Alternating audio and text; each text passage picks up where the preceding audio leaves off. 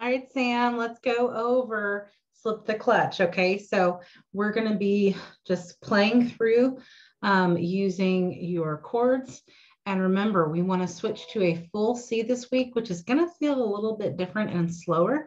That's okay. Make sure you're doing your easy C first, then just add your ring finger over. That'll make it a lot easier. So let's start with the top. We're going to start with G, two strums, one, two, C, full C, two strums, one, back to easy G, full, two strums, one, two, D, two strums, one, two, E minor, two strums, one, full C's coming up. Here we go to full C, one, two, G, two strums, sorry, easy D, D, two strums, E minor, two strums, C is coming up, full C. G. B minor. And C, two strums. Easy G, two strums. Okay, now we're into verse one. So let's do that. E minor, four strums.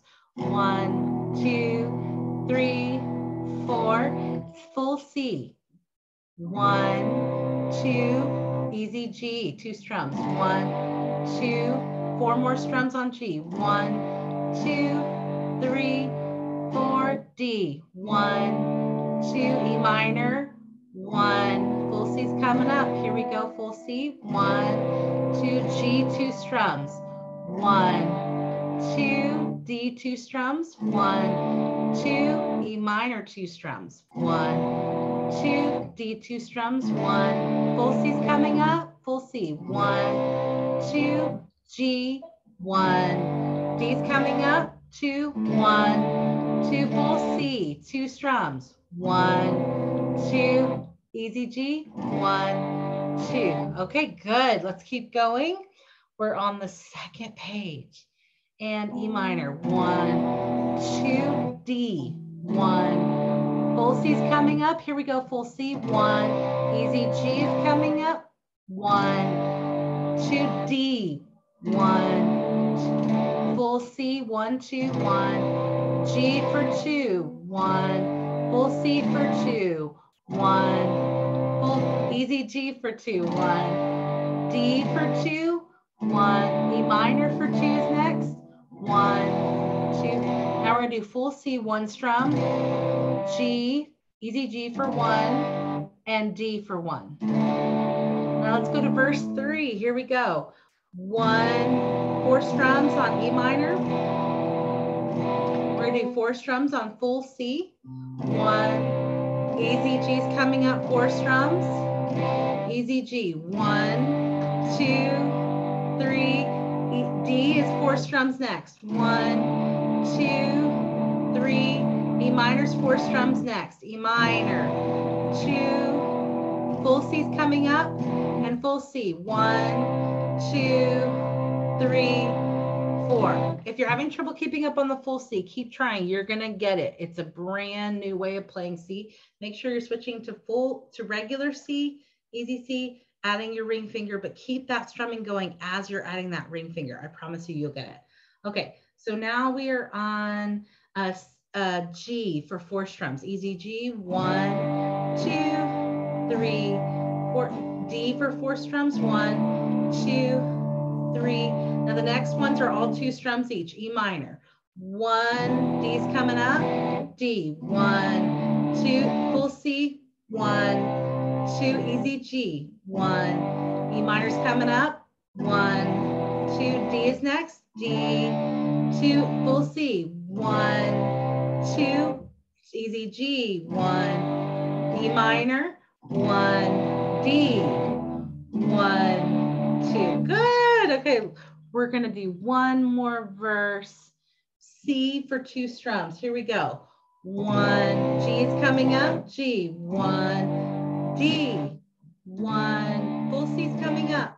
Full C, easy G, one, full C's coming up. Here we go, full C, one, easy G, D is next, G, E minor's next, E minor. And now one strum on full C. Here we go. One strum, easy G, one strum, four strums on D.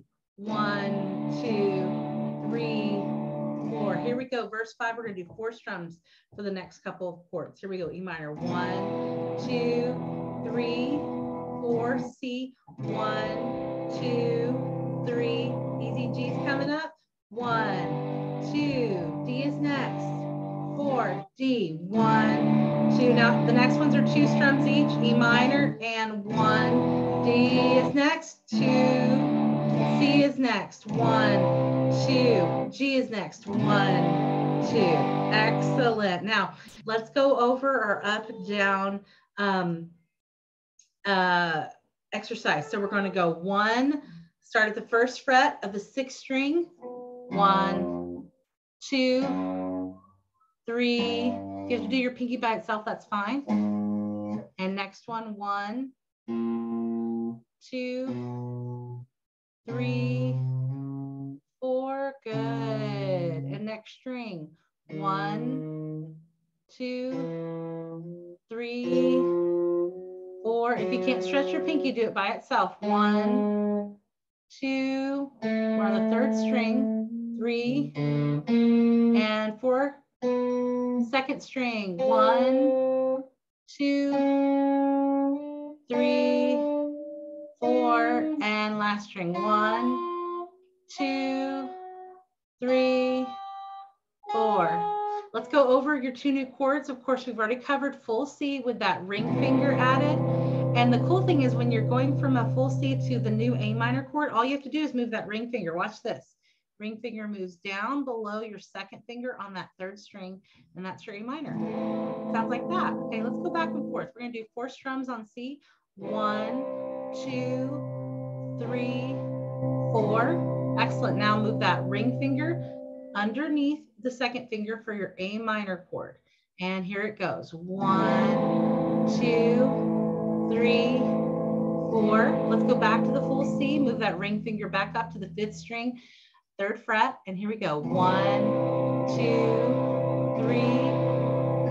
Move that ring finger down below your second finger on that third string and play A minor. One, two, three. Excellent. I put a drill for the new A minor and the full C on your homework page. So now that you're done with this video, I want you to go ahead and play through that drill and you are done for your practice. Great job today.